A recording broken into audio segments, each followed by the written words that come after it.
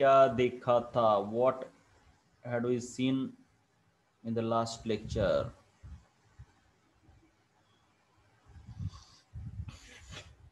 hmm.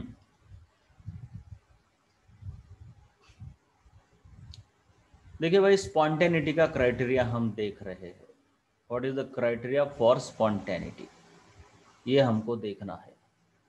Spontaneity के लिए हमने पहला क्राइटेरिया ढूंढा। Delta S universe it should be greater than zero लेकिन इसमें प्रॉब्लम था, इसमें सिस्टम और सराउंडिंग दोनों का डेल्टा एस निकालना पड़ता था। तो प्रॉब्लम था सराउंडिंग में। सराउंडिंग वाले में प्रॉब्लम था, काफ़ी ज़्यादा प्रॉब्लम था। तो सराउंडिंग वाले में प्रॉब्लम था तो इसको रिप्लेस कर दिया सिस्टम के पैरामीटर से। तो सिस्टम के पैरामीटर से रिप्लेस करने के लिए हमारे पास आया delta G delta G should be less than zero यहाँ पे delta S universe should be greater than zero ये क्राइटेरिया आया। लेकिन बाद में कुछ हमने मैकेनिज्म देखा था डेरिवेशन देखा था कि delta G less than zero भी स्पॉन्टेनिटी का क्राइटेरिया है। अब ये डेल्टा जी सिस्टम का है सराउंडिंग का है यूनिवर्स का, ये बताइए आप लोग। चलो फटाफट।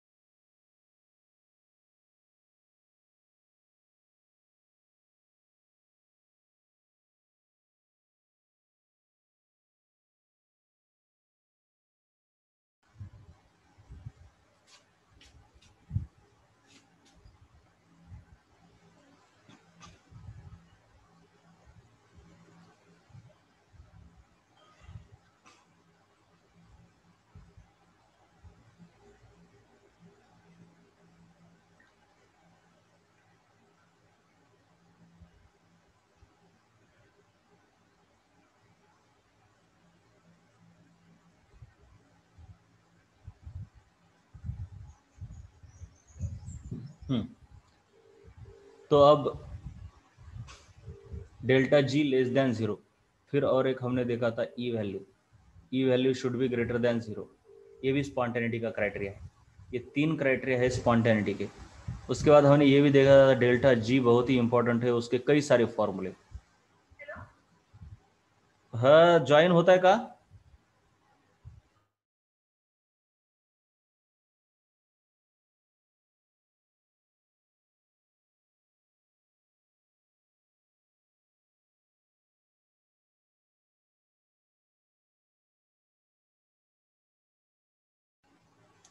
ओके। तर डेल्टा जी बहुत ही इंपॉर्टेंट है। तो delta G is equal to हमारा पहला फॉर्मूला था। ठीक से याद रखना है? बिल्कुल भूलना नहीं। Minus T delta S universe, ये वाला एक फॉर्मूला दूसरा delta G is equal to delta H minus T delta S. देखिए डिफरेंस है यहाँ ये डेल्टा एस यूनिवर्स है और ये डेल्टा एस है। इस डेल्टा एस का क्या मतलब है? सिस्टम का। उसके बाद और एक डेल्टा जी का फॉर्मूला है माइनस एन एफ़ ई। और डेल्टा जी का और एक फॉर्मूला है delta G not plus R T L N K. ये सब डेल्टा जी के फॉर्मूले बहुत ज़्यादा इंपॉर्टेंट है, बहुत ही ज़्यादा इंपॉर्टेंट बहुत ही ज़्यादा इंपॉर्टेंट है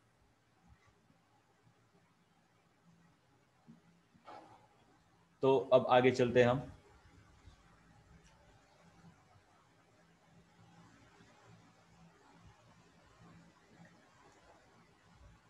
अब हम देखते हैं equilibrium temperature what is the meaning of equilibrium temperature equilibrium temperature जरा ठीक से देखो। सबसे पहले हमारे पास स्पॉन्टेनिटी का क्राइटेरिया है delta G it should be greater than sorry less than zero delta G अगर लेस देन ज़ीरो है तो स्पॉन्टेनियस है।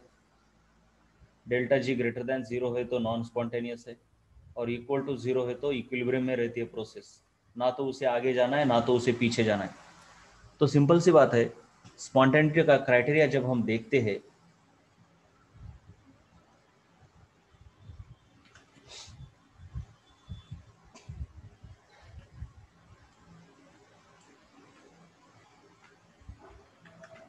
स्पॉन्टेनिटी का क्राइटेरिया जब भी हम देखते हैं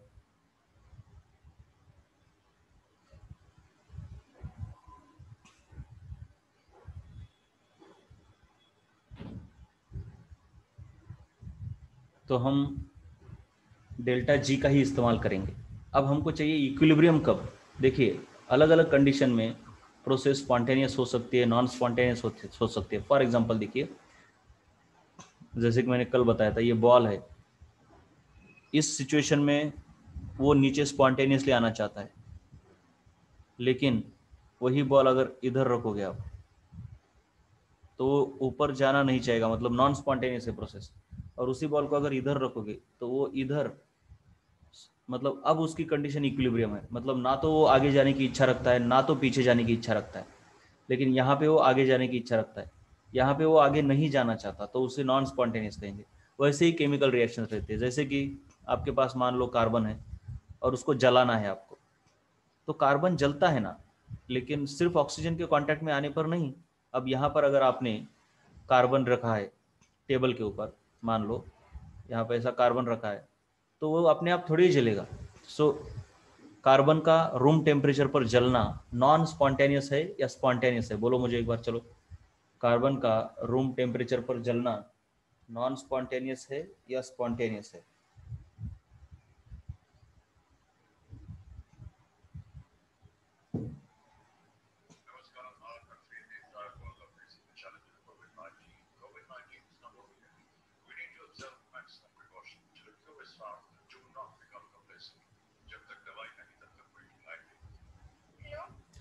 लेक्चर करायचे नाहीत का थर्मोडायनामिक्सचे मग कुठं आहेस तू?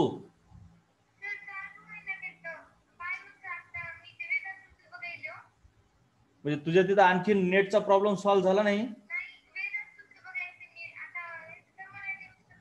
कधी?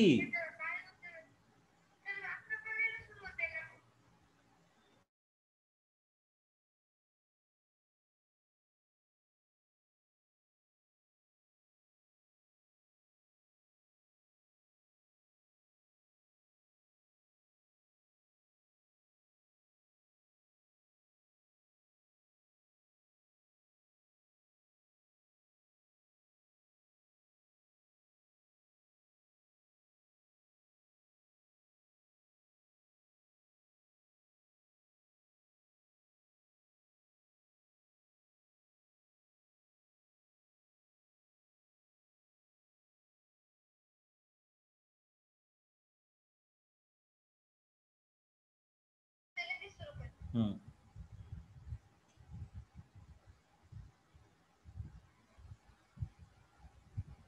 हम्म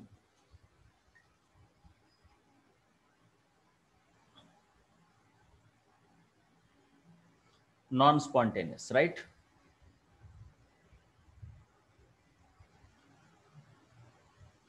so non spontaneous ही प्रोसेस आहे. कारण त्याला जळायचंच नाही सध्या. बाकीच्यांनी सांगा रे बाबा नो सर्वजण सांगा. एक जणाचं उत्तर आहे फक्त. दीपक अंजली आणखीन एक आहे. हा नॉन स्पॉन्टेनियस आहे. का? कारण का तर कार्बन टेबलवर ठेवला तो जळत नाही आपोआप. पण तेच जर तुम्ही ह्याला काडी लावली म्हणजे टेम्परेचर वाढवलं जोरात टेम्परेचर वाढवलं तर तो जळायला लागतो. बरोबर आहे? म्हणजे टेम्परेचर वाढवलं की तो स्पॉन्टेनियस बनतोय. टेम्परेचर वाढवलं की तो स्पॉन्टेनियस बनतोय. आणि टेम्परेचर कमी केलं की तीच प्रोसेस नॉन स्पॉन्टेनियस बनते. एवढं कळलं का सांगा बरं? एवढं कळलं का सांगा?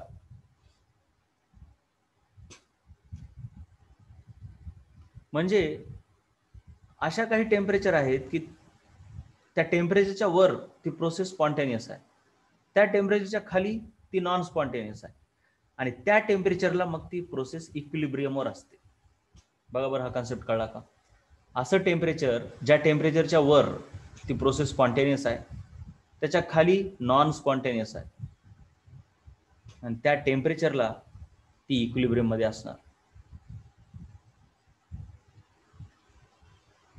राईट ह्याला इक्विलिब्रियम टेम्परेचर असं म्हणतात. त्या टेम्परेचरला इक्विलिब्रियम टेम्परेचर असं म्हणतात. ज्या टेम्परेचरच्या खालीवर रिॲक्शन स्पॉन्टेनियस आणि नॉन स्पॉन्टेनियस असते. आता आपण हे बघितलं टेम्परेचरच्या वर स्पॉन्टेनियस. आणि खाली नॉन स्पॉन्टेनियस पण अशाही काही रिॲक्शन असतात ह्याच्या जस्ट उलट्या. की ज्या टेम्परेचरच्या वर नॉन स्पॉन्टेनियस असतात. आणि टेम्परेचरच्या खाली स्पॉन्टेनियस असतात. म्हणजे उलट आहे. दोन्ही प्रकारे होते जरा लक्षात आलं का बघा बरं जरा. म्हणजे असं काही पाठ करायची गरज नाही. की टेम्परेचरच्या वर स्पॉन्टेनियस आणि टेम्परेचरच्या खाली नॉन स्पॉन्टेनियस फक्त एवढंच पाठ करावं लागेल आपल्याला लक्षात ठेवावं लागेल की टेम्परेचरच्या एका साईडला स्पॉन्टेनियस असलं की त्या टेम्परेचरच्या दुसऱ्या साईडला नॉन स्पॉन्टेनियस असतात प्रोसेस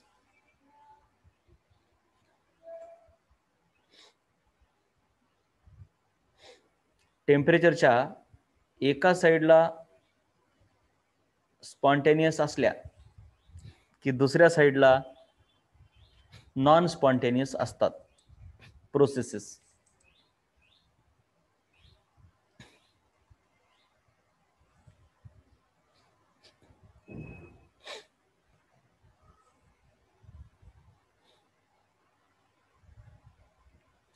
कळलं का? सांगा रे जरा. तुम्ही सांगत चला बरं. कळलं की यस म्हणत चला कळलं नसलं की नो म्हणत चला. फटाफट. आणि त्या टेम्परेचरला म्हणतात इक्विलिब्रियम टेम्परेचर ज्याच्या एका साईडला स्पॉन्टेनियस दुसऱ्या साईडला नॉन स्पॉन्टेनियस सहसा असं असतंय की जी एक्झोथर्मिक प्रोसेस आहे एक्झोथर्मिक प्रोसेस तिला टेम्परेचर कमी असं वाटतं. हे आपलं झालंय. कारण तिच्यात स्वतःच गरमी असते. मग तिला टेम्परेचर कमी असं वाटते म्हणून त्या लो टेम्परेचरला स्पॉन्टेनियस असतात. तर एंडोथर्मिकवाल्या हाय टेम्परेचरला स्पॉन्टेनियस असतात. आपण ली चॅटेल प्रिन्सिपलमध्ये बघितलंय. एंडोथर्मिकला टेम्परेचर वाढवलं की फेवरेबल होतंय. हे पण कळलं का सांगा? हे काय म्हणलो मी? एक्झोथर्मिकवाल्या लो टेम्परेचरला स्पॉन्टेनियस आणि हाय टेम्परेचरला नॉन स्पॉन्टेनियस जबकि एंडोथर्मिकवाल्या हाय टेम्परेचरला नॉन स्पॉन्टेनियस आणि लो टेम्परेचरला स्पॉन्टेनियस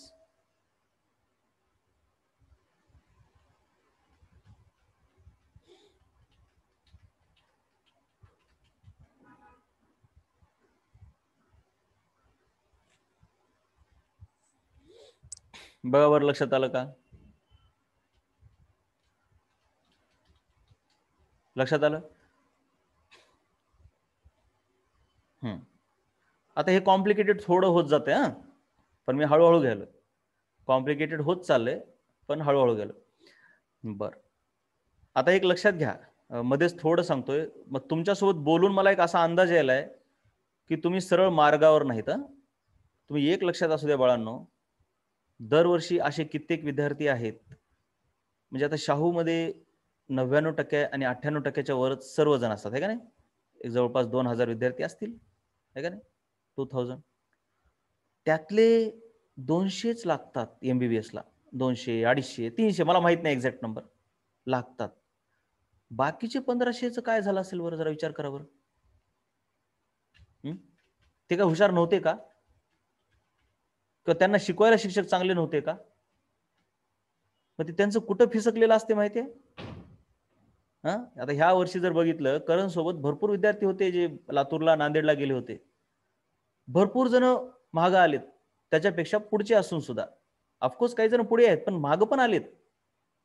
त्याचं रिझन काय? किंवा करण सोबत इथं असणारे काही जण मागं पडलेत? त्याचं एकमेव कारण असतं रस्त्यावर सरळ चलणे.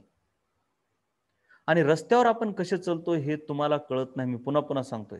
नंतर मोठी चूक करून घेणार मग माझ्यापाशी येणार काही फायदा होणार नाही. आपण रस्त्यावर सरळ चलतोय का नाही? एक लक्षात घ्या शिकवायला शिक्षक कितीही भारी असू द्या. ते आय आय टी साठी गरज आहे. खूप कन्सेप्च्युअल गोष्टी असतात. ह्या नीटमध्ये काय आहे रे? उगत टाइमपास आहे. फक्त शेवटपर्यंत सरळ अभ्यास करणं गरजेचं आहे. आणि तो सरळ अभ्यास तुमचा व्हायला आहे का नाही? हे तुम्हाला कधीच कळणार नाही एवढं लक्षात घ्या. करणचाच एक मित्र आहे मी काय नाव घेत नाही. त्याची आई आता सतत म्हणाले की नेमकं माझं काय चुकलं असेल? मी तर शाहूला होते दहावीमध्ये नव्याण्णव टक्के पडले होते. काय म्हणजे चुकलं असेल? स्कॉलरशिप होल्डर पण होता मुलगा. पण मार्क आले तीनशे.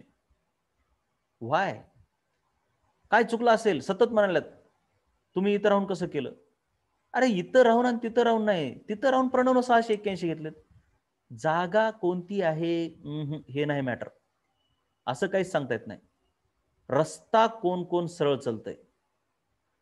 रस्ता. रस्त्यावर सरळ चालता येणं दोन प्रकारे असते. एक काही जण सेल्फ मेड असतात. पण सेल्फ मेड किती असतात असे रे है का नाही? हजारो मधून एखादा असतो self made self doctor Babasaheb Ambedkar.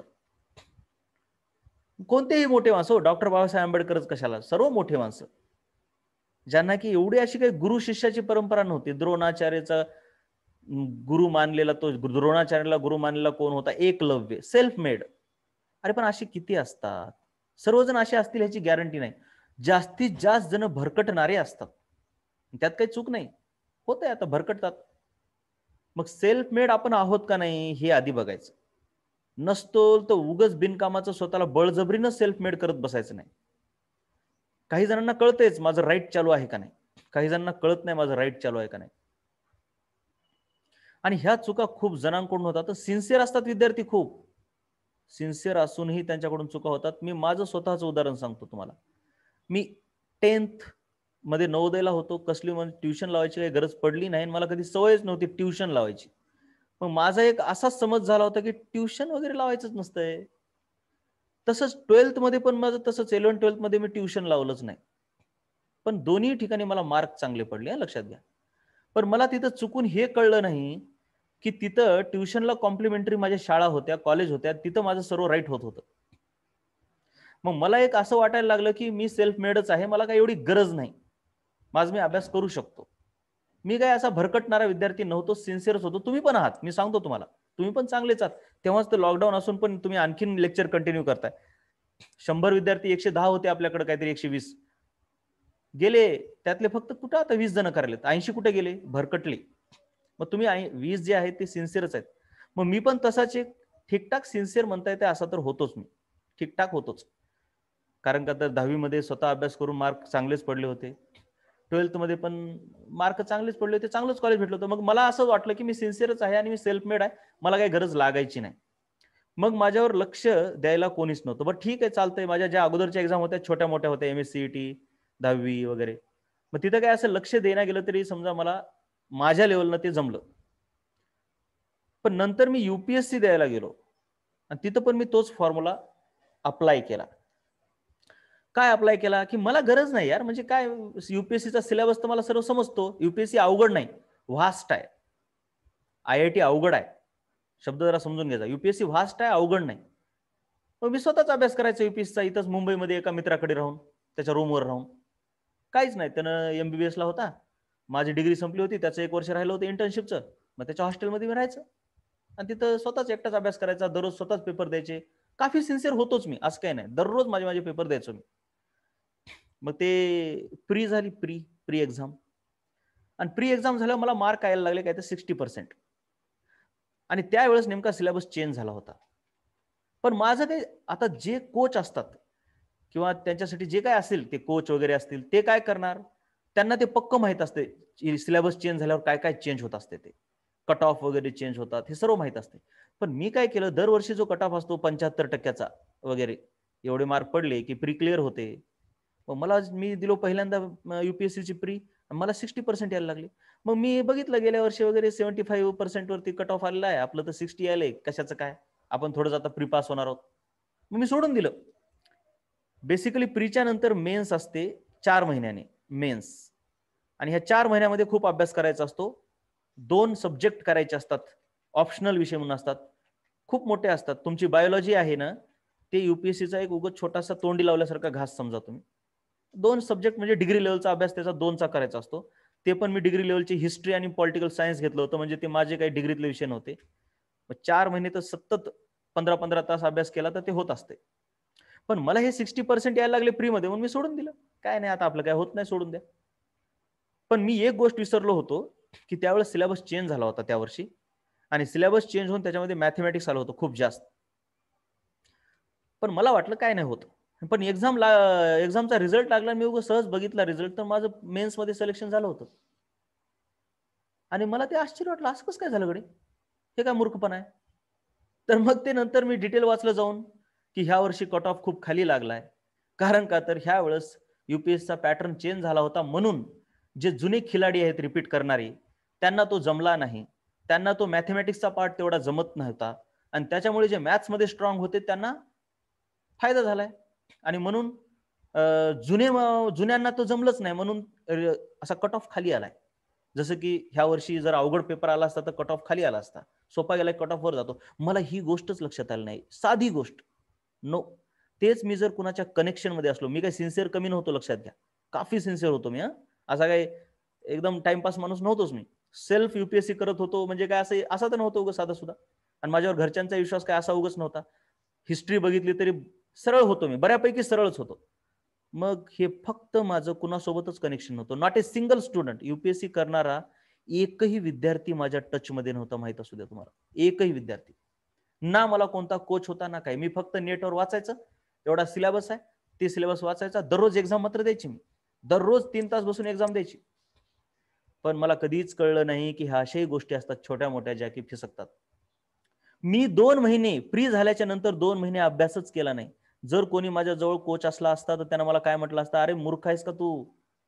अभ्यास कर. पागल आहेस का तू? तुझा हा कट ऑफ आहे हाच लागत असतो. कर अभ्यास. म्हणजे मला त्यावेळेस त्यांनी मोटिवेटेड ठेवलं असतं. किंवा माझी जी झालेली चूक आहे ती त्यांनी सांगितली असती. हे माहीत असू द्या. मग ते माझे दोन महिने गेले. आणि मग प्रीचा निकाल लागला आणि मी तर मेन्समध्ये सिलेक्ट झालो. मग आता पुढच्या दोन महिन्यामध्ये दोन विषय कसे होणार? नाहीच झाले माझे विषय. आता मला याच्यातून काय सांगायचंय? की तुम्ही अभ्यास करायला हे तुम्हाला माहिती आहे तुम्ही सिन्सिअर आहात सर्वच माहिती आहे. पण थर्ड पार्टीला काय वाटतं हे बघणं खूप गरजेचं आहे. मग मला असं वाटायला की कुठंतरी तुम्ही कधीतरी भरकटायलात. आणि हे भरकटणं एवढं डेंजरस असतंय तुम्ही किती अभ्यास करा. तुम्ही कुठं तर वेगळ्या मार्गाने काहीतरी फालतू कामं करायला लागता. चुकीचे गोष्टी करायला लागतात चुकीचे पुस्तकं सॉल्व्ह करायला लागतात आणि तुमचं नुकसान होऊ शकतं त्यामुळं माझं एक रिक्वेस्ट आहे तुम्ही मला इथे येऊन फिजिकली एकदा भेटून जावा. मला बघणं गरजेचं आहे. फिजिकली भेटण्यासाठी मला सकाळी दहा पर्यंत कधी पण भेटू शकता. आणि काय काय चुका झाल्यात काय काय करायला तुम्ही ते मला टोटल तुमच्यासोबत डिस्कशन करावं लागतं. ओके चला. आणि मला हे एवढं वेळ बोलावं लागलं कारण का मला कुठंतरी चांगल्या हुशार विद्यार्थ्याचं देखील फिसकल्यासारखं वाटायला आणि मी उगं म्हणत नाही लक्षात घ्या. कुठंतरी फिसकल्यासारखं वाटतंय. विचारलेल्या प्रश्नांची उत्तर येत नाहीत म्हणजे ह्याचा अर्थ कुठं तर भरकटच जाण्याची शक्यता खूप जास्त आहे. ओके मग आपण आता काय बघितलं? आपण आता बघितलं की एक इक्विलिब्रियम टेम्परेचर असतं. इक्विलिब्रियम टेम्परेचरच्या वर किंवा खाली रिॲक्शन स्पॉन्टेनियस असते आणि एका बाजूला नॉन स्पॉन्टेनियस असू शकते. पण अशाही काही रिॲक्शन असतात की त्या कधीच स्पॉन्टेनियस नसतात. कोणत्याच टेम्परेचरला आणि अशाही काय असतात की त्या कधीच नॉन स्पॉन्टेनियस असतात त्या ऑलवेजच स्पॉन्टेनियस असतात. मग हे सर्व प्रकारच्या रिॲक्शन आता आपल्याला बघायच्या त्याच्या अगोदर इक्विलिब्रियम टेम्परेचर म्हणजे काय ते बघूया. आता आपल्याला माहिती आहे की at equilibrium delta G is equal to zero असतो. पण डेल्टा जी म्हणजे काय आहे? Delta H minus T delta S is equal to zero आणि ही इक्विलिब्रियमची कंडिशन आहे म्हणून टेम्परेचर पण इक्विलिब्रियमचं असणार. चला हे कळलं का एवढं सांगा. येस और नो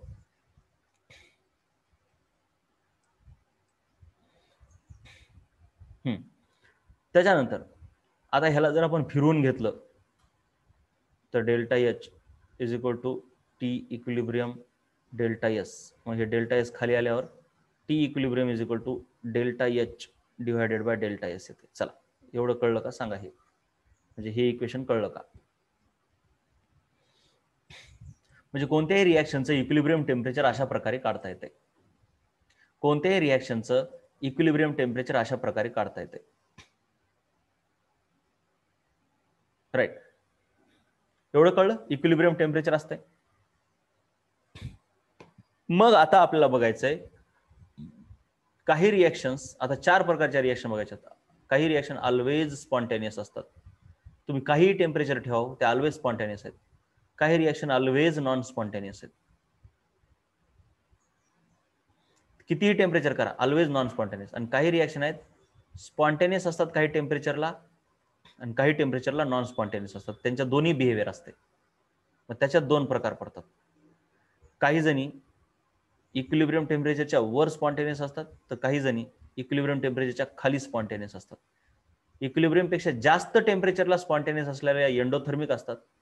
कमी टेम्परेचरला स्पॉन्टेनियस असणारे एक्झोथर्मिक असणार ह्याच्याविषयी आता डिटेल आपल्याला बघायचं इथं ह्या टेबलमध्ये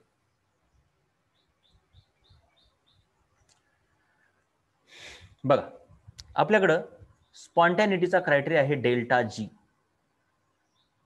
डेल्टा जी जो की असतो delta H minus T delta S मग आपण काय करूया? ह्या मायनस कॉमन काढून delta H plus minus T delta S असं लिहूया. जे की मी इथं लिहिलंय. कळलं का सांगा? कळलं का? Delta G is equal to हां. मग आपण ह्या पहिल्या ट ह्याला म्हणूया आपण टर्म ए आणि याला म्हणूया आपण टर्म बी आपल्याला एक माहीत असलं पाहिजे स्पॉन्टॅनियस आणि नॉन स्पॉन्टॅनियस हे बघायचं आहे पुन्हा सांगतोय मी. तर आपण रिॲक्शनचे प्रकार पाडतोय डेल्टा एचच्या आधारावर. म्हणजे आपल्याकडे दोन गोष्टी आहेत. एक आहे डेल्टा एच दुसरी आहे डेल्टा एस हिची व्हॅल्यू काय असू शकते? प्लस मायनस मग तसंच हिची व्हॅल्यू काय असू शकते? ती प्लस मायनस म्हणजे डेल्टा एच ते मेल गॅमेट आणि फिमेल गॅमेट सारखं बघूया आपण. पुनेट स्क्वेअर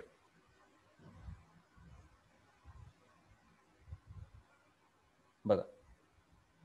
बघा.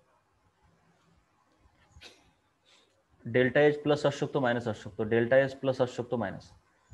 म्हणजे इथं काय येणार? डेल्टा एच पण प्लस डेल्टा एस पण प्लस. इथं काय येणार? एक प्लस एक मायनस. इथं काय येणार? दोन्ही मायनस. इथं काय येणार रिॲक्शन एक प्लस एक मायनस. म्हणजे असे एकूण डेल्टा एच आणि डेल्टा एसच्या आधारावर चार टाईपच्या रिॲक्शन तयार होतात. येस और नो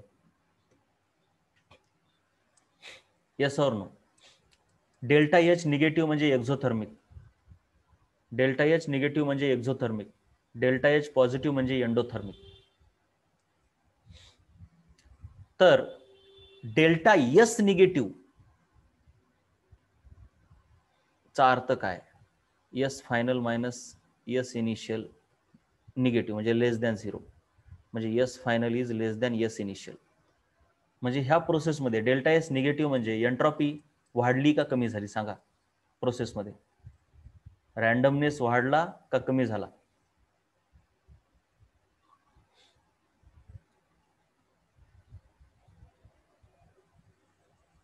डेल्टा एस निगेटिव्ह चा अर्थ काय? रॅन्डमनेस म्हणतो मी स्पॉन्टॅनिटी नाही. रॅन्डमनेस वाढला का कमी झाला?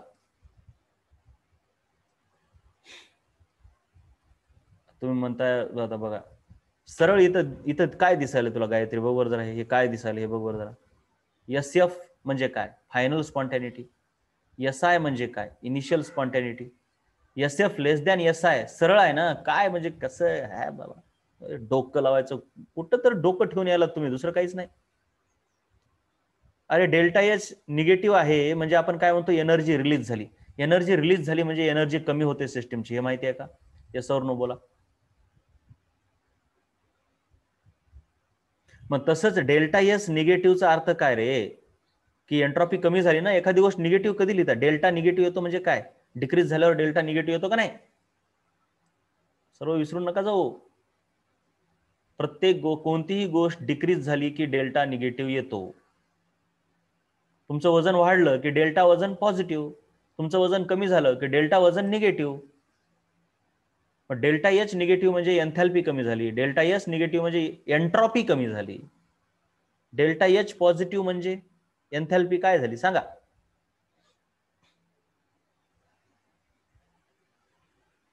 इन्क्रीज झाली. डेल्टा एस पॉझिटिव्ह म्हणजे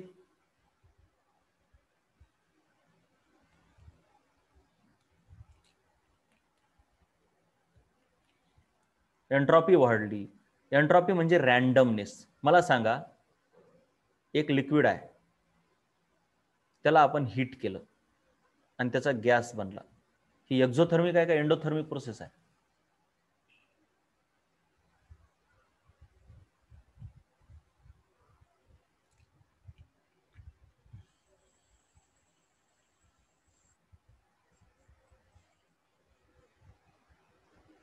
एखाद्या गोष्टीला आपण हीट करायलो ती एक्झोथर्मिक आहे का एंडोथर्मिक आहे? अंजली एक्झो कशी आली? जरा वाचा रे बाबा नीट. एंडोथर्मिक आहे. त्यानं हीट घेतली. त्याला हीट दिली आपण. तापवलं त्याला. त्याने हीट सिस्टीमने हीट ऍब्झॉर्ब केली. हे भांड लक्षात घ्या. त्या भांड्यामध्ये पाणी आहे. आणि त्याला आपण हीट दिली. त्याने हीट ऍब्झॉर्ब केली. हीट ऍब्झॉर्ब केली की एंडोथर्मिक असते. डोक्याचा वापर थोडा करावा लागेल रे बाळांनो. ठीक आहे? हम्म. मग लिक्विडमध्ये रॅन्डमनेस जास्त असतो का गॅसमध्ये रॅन्डमनेस जास्त असतो? सांगा. लिक्विडमध्ये रॅन्डमनेस जास्त असतो का गॅसमध्ये रॅन्डमनेस जास्त असतो? बोला. गॅसमध्ये रॅन्डमनेस जास्त आहे. गॅसमध्ये रॅन्डमनेस जास्त आहे. म्हणजे ह्या प्रोसेसमध्ये डेल्टा एच एंडोथर्मिक आहे म्हणून delta H greater than zero आहे बरोबर? म्हणजे एन्थॅल्पी वाढली लिक्विडपेक्षा गॅसची एन्थॅल्पी जास्त आहे. आणि लिक्विडपेक्षा गॅसची एन्ट्रॉपी पण जास्त आहे. मग डेल्टा एस पॉझिटिव्ह येईल का निगेटिव्ह येईल? सांगा.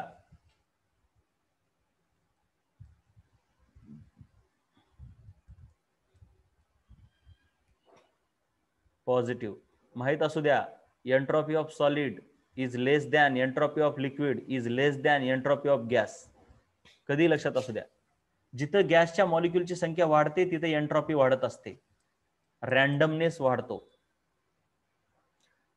यांचे आपलं हे एररलेस सॉल्व करा टार्गेट सॉल्व करा नुसते लेक्चर ऐकू नका एमसीक्यू सॉल्व करा. तुम्हाला अक्षरशः आता छड्यांची गरज आहे मी तुम्हाला सांगतोय. सिरियसली.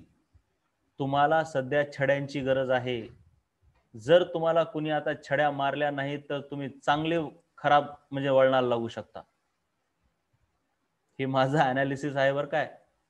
त्याच्यामध्ये वाईट वाटून ज्याला वाईट वाटायले ते तर आणखीन जास्त वाईट वळणाला लागला असं समजायचं. मी पुन्हा सांगतोय गोष्टी अगोदर बघा तुम्ही सुरुवातीला कसे उत्तर देत होता फटाफट फटाफट फटाफट. काही जण सर्वांचं नाही काही जणांचं चुकायला हो तुम्ही सतत अभ्यास करा जास्त अभ्यास करा एमसीक्यू सोडा. आता कुण कुण एररलेस आतापर्यंत जेवढं शिकवलंय तेवढं सोडवलंय. एररलेस आणि टार्गेट कुण कुण सोडवलंय थर्मोडायनामिक्सचं टार्गेट सोडलं तर टार्गेट सांगा एररलेस सोडलं तर एररलेस सांगा. चला टार्गेट तरी सोडवलंय. आणखीन वा टार्गेट तरी सोडवलंय. ऍटलिस्ट तेवढं केलंय.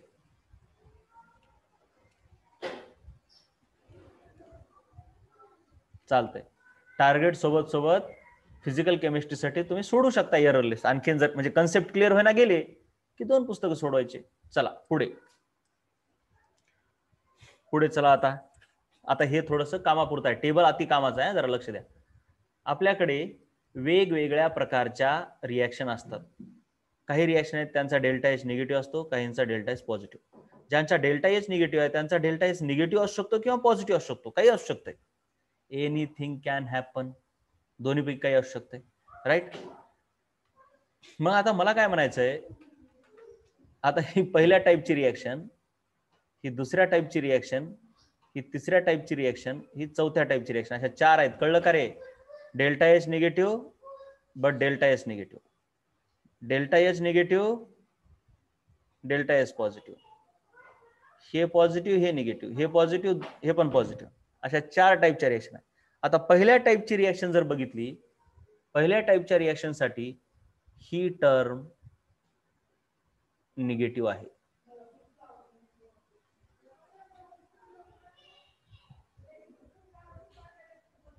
प्लस ही टर्म आता नीट लक्ष द्या.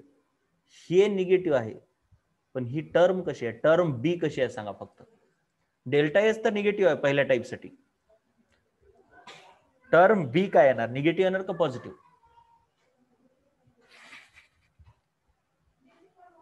पॉझिटिव्ह येणार. का? कारण हे निगेटिव्ह आहे आणि हे पण निगेटिव्ह आहे. मग दोन्ही निगेटिव्ह निगेटिव्ह म्हणून पॉझिटिव्ह येणार. हे किती जणांना कळलं रे? आपल्याला बघायचंय. प्रोसेसची टर्म ए आणि टर्म बी काय आहे ते काढायचे आहे टर्म ए निगेटिव्ह आली पहिल्या टाईपच्या रिएक्शनची आणि टर्म बी पॉझिटिव्ह आली. किती जणांना कळलं? येस और नो सांगा. पहिल्या टाईपच्या रिॲक्शनमध्ये delta H negative delta S negative हे पण निगेटिव्ह हे पण निगेटिव्ह दोन्ही निगेटिव्ह पण टर्म ही टर्म पॉझिटिव्ह आली निगेटिव्ह आली आणि ही टर्म निगेटिव्ह आली. ही टर्म निगेटिव्ह आली आणि ही टर्म पॉझिटिव्ह आली. कारण ह्या टर्ममध्ये इटसेल्फ एक मायनस आहे इथं. विसरू नका. म्हणून ही टर्म आली पॉझिटिव्ह मग आता term A negative term B positive मग ह्या दोघांची बेरीज काय येणार? पॉझिटिव्ह निगेटिव्ह का बोथ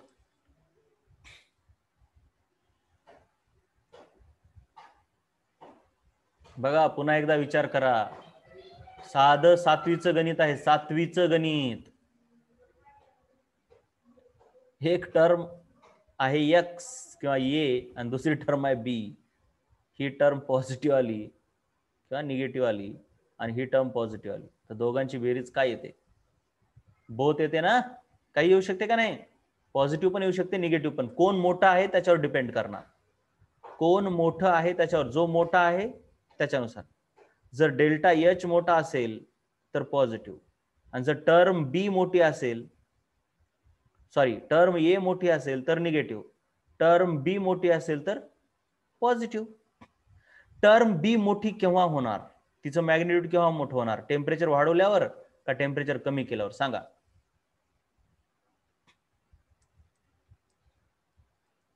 बोला टर्म बी जर वाढव वाढवायची म्हटलं तिचं मॅग्नेट्यूड तर टेम्परेचर काय करावं लागेल? वाढवावं लागेल का कमी करावं लागेल? बोला रे. वाढवावं लागेल. कळलं का? म्हणून अशा टाईपच्या रिॲक्शन्समध्ये ह्या पहिल्या टाईपच्या रिॲक्शन्समध्ये टेम्परेचर वाढवलं की डेल्टा जी निगेटिव्ह होतो.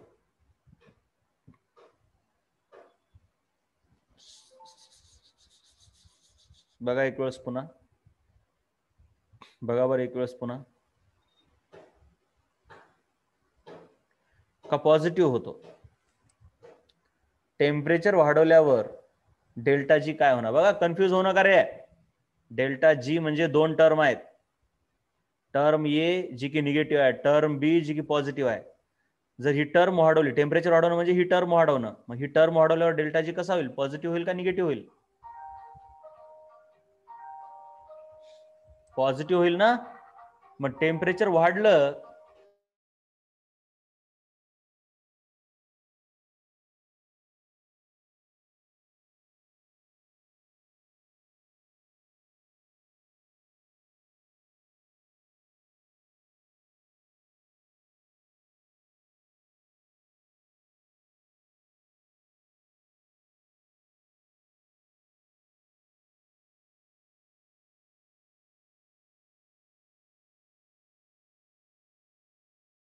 हा. बोला बाकीचे बोलताय का नाही? अरे डोकं लावा रे जरा मॅथमॅटिकल आहे बाळांनो. काय एवढं येड्यासारखं करताय वगैरे मी तुम्हाला डायरेक्ट पण सांगितलं असतो पण म्हटलं जरा जरा समजून सांगूया. हा? चला डोकं लावा.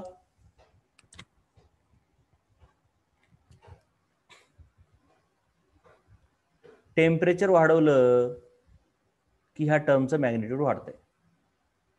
मग पॉझिटिव्ह टर्मचं मॅग्नेट्यूड वाढल्यावर डेल्टा जी पॉझिटिव्ह होईल ना? मग डेल्टा जी पॉझिटिव्ह झाल्यावर रिॲक्शन स्पॉन्टेनियस होईल का नॉन स्पॉन्टेनियस होईल? सांगा.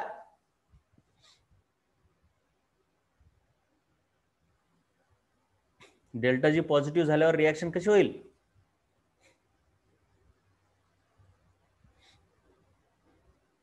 स्पॉन्टेनियस बघा आता स्पॉन्टेनियस म्हणताय तुम्ही यार.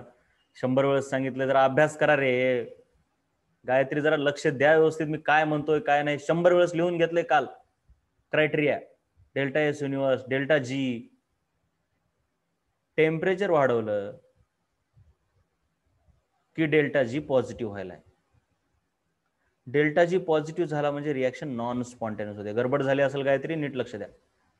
नॉन स्पॉन्टेनियस असते. डेल्टा जी पॉझिटिव्ह म्हटलं की रिॲक्शन नॉन स्पॉन्टेनियस मग आपण असं म्हणू शकतो की जास्त टेम्परेचर केलं की रिॲक्शन नॉन स्पॉन्टेनियस व्हायला आणि तेच जर टेम्परेचर कमी केलं की डेल्टा जी निगेटिव्ह होणार आणि मग रिॲक्शन स्पॉन्टेनियस होणार.